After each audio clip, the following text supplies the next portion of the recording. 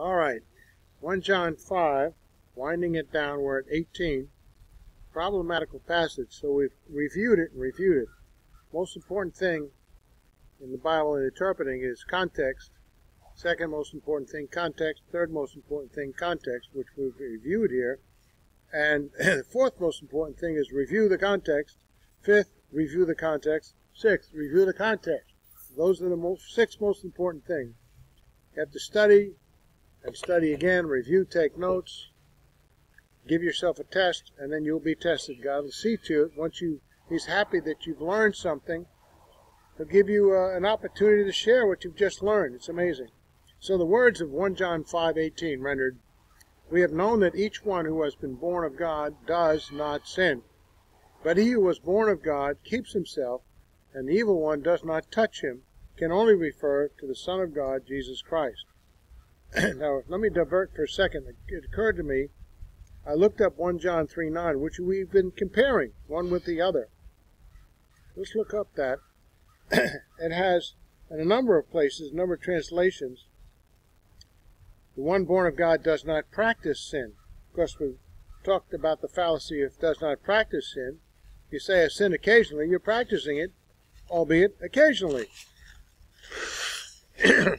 so, you can't sin at all. So the word there, the one born of God does not practice sin, the actual Greek word, we take a look at this. 1 John 3 9. Load up 1 John 3 9. 3 and 9.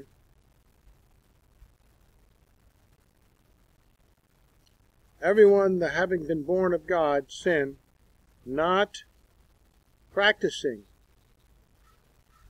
sin. Well, what is practicing there? It's a indicative present tense. Let's look at the dictionary to see if that's indeed an acceptable translation.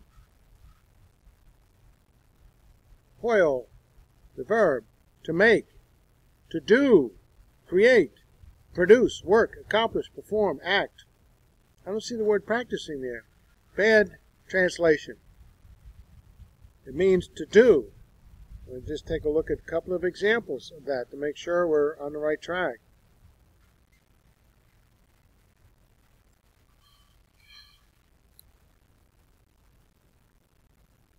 Have some verses down here which which has it there did as the angel of the Lord had bidden him. Make, bring forth. I will make, shall do, cause, make, do, do not, do, do, do. Thou doest. Hypocrites do in the synagogues, in the streets.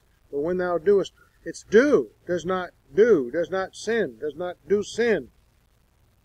So I don't know why this interlinear wants to use the word practicing.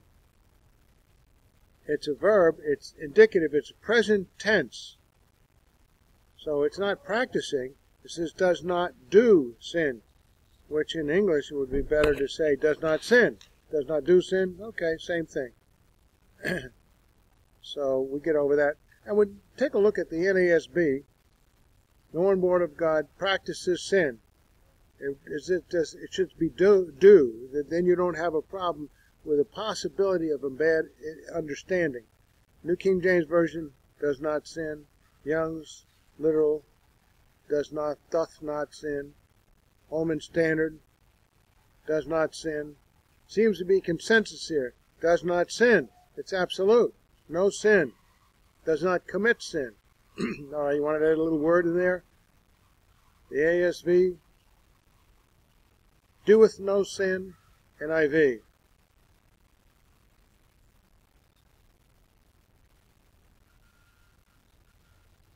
No one who is born of God will continue to sin.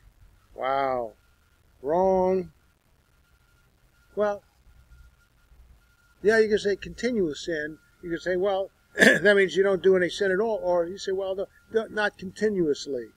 See, you leave it open for a bad translation or understanding. And if you have an agenda, you certainly go the way you want to go. any case, 1 John 5:18.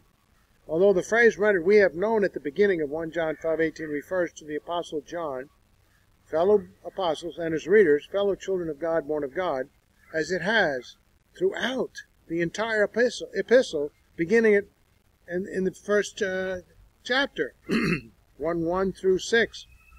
And although it is true that all who have received Jesus Christ, to those who believed in his name, God gave them the right to become children of God, born of God. Nevertheless, 1 John 5:18 does not have children of God, born of God in view. Since the words we have known that each one who has born been born of God does not sin, and there's only one.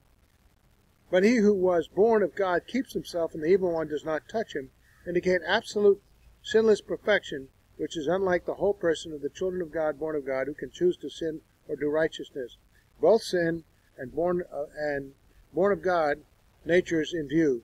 So you have a sinful nature and a born of God nature, the inner man, Paul calls it, in view in John's first epistle up to this point and throughout the epistle to the end. it allows for you for you to choose to do righteousness or to sin. And when you sin, we have a, an advocate with the Father, Jesus Christ the righteous, and you confess those sins and move on. So the whole person, the sin nature, the sin nature and the inner man, born again child, children of God, are, are in view. So let's move on to W, where we left off. We moved on to the next verse, 1 John 5:21. Author John tells his readers, "Little children, referring to children of God born of God, guard yourselves from idols." implying that children of God, born of God, indeed do have the capacity to practice sin. Hence, John warns them to guard themselves from putting anything before God in priority. Now, if, you, if you're just talking about the born again child who does not sin, why have the warning? Because the potential is there for you to do that, those things. So, do not guard yourselves from idols. If you weren't going to have the capacity to do that once you became born again, John wouldn't even bother saying this at all. So, hence, John warns them to guard themselves from putting anything before God in priority, from doing anything that is not righteous. Any moral compromise with the worldly perspectives was likely to lead to some involvement with idolatry, a person, an activity, and a thought. so, Author John tells his readers, little children, referring to children of God, born of God, guard yourselves from idols, implying that children of God, born of God, indeed do have the capacity to practice sin. Hence, John warns them to guard themselves from putting anything from God in priority, before God in priority, and from doing anything that is not righteous.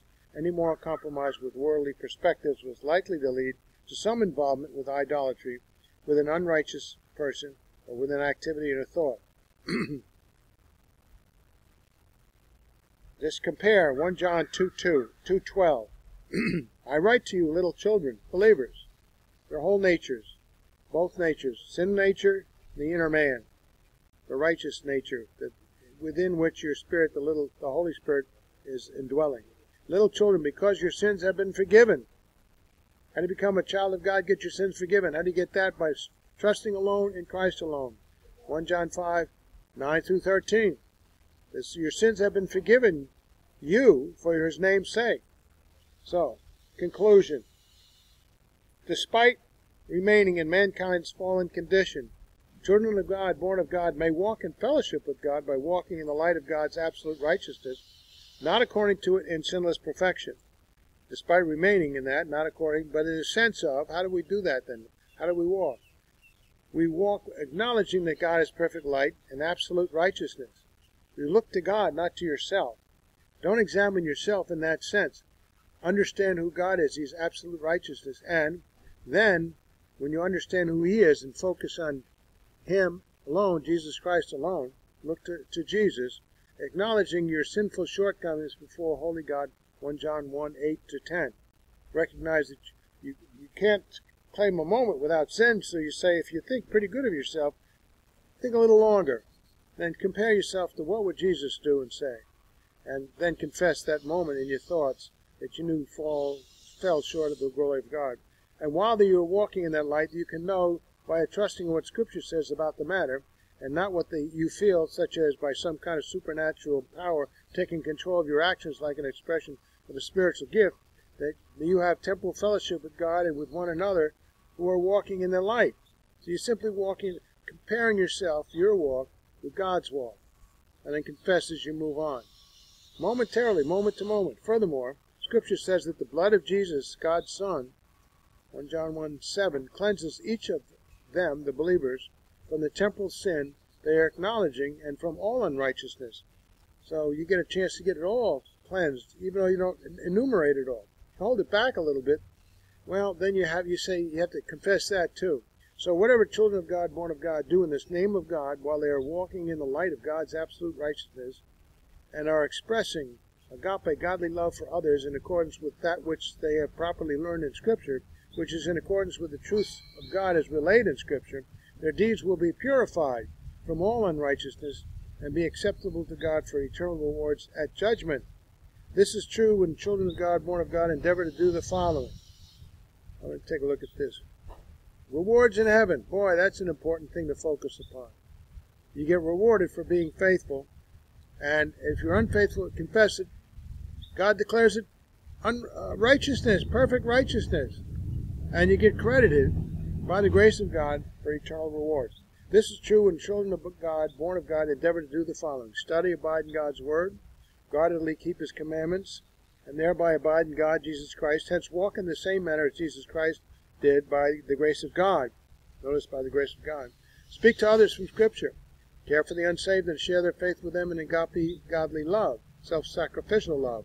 Express agape self sacrificial love toward the brethren and thereby affirm to themselves that by the grace of God they know God and are born of God, and they know that God is love, is God's love is perfected, made complete in them. Confess their sins while walking in the light of God's absolute righteousness. Be assured, because they are children of God, born of God, that their sins are forgiven unto eternal life and unto temporal fellowship with God. Look forward to Christ's appearing and thereby be assured of their eternal destiny. Keep God's commandments. To Walk in the same manner that Christ walked not love the world or the things in it. Know that they are born of God into eternal life because the world hates them like it hated Christ, implying that they are endeavoring to abide in Christ and God's Word. Confess the Father and the Son, especially the Son, having come in the flesh. Know that God is light, absolutely perfect righteousness, and in him there is no darkness, no unrighteousness at all. Know that they are children of God, born of God, because they have the sure hope, sure hope of eternal life fixed upon the Son of God. 1 John 5, 9 through 13. Memorize that. Test the spirits to determine if they are from God. Furthermore, in addition to self examination to determine if they are abiding in God, children of God, born of God, while they walk in God's light, can know what it is of God and what is not relative to what they observe others say and do. But this is conditioned upon the accuracy of what one thinks another is saying and doing. Appearances can be deceiving when one lacks the knowledge of details behind what they observe. For children of God, born of God, neither have God's absolute knowledge of another's eternal and temporal position with him, nor know what God knows about another's understanding, motivation, and faith. And this is further limited to what the child of God, born of God, has an accurate understanding of what Scripture teaches on the matter at hand. So you have to study it in the order it was written and go into a lot of details and take notes and share and, and listen and prove out by going back to Scripture again and again and again. Nevertheless, there are a number of indicators as to whether or not one is a child of God, born of God, on the path toward fellowship with God, such as persistent daily study of Scripture in accordance with the order in which each book of God's Word was inspired by the Holy Spirit to be written, without skipping any parts. Hence, no cherry picking of verses from all over the Bible without regard to context. Instead of thoroughly analyzing each passage to verify the context from the beginning of the book it is contained in, in the order it was written, all of which must be in accordance with the normative rules of language, context, and logic, which are evidently used to compose the Bible. Persistent daily sharing of what one has learned and confirmed in one's study of Scripture.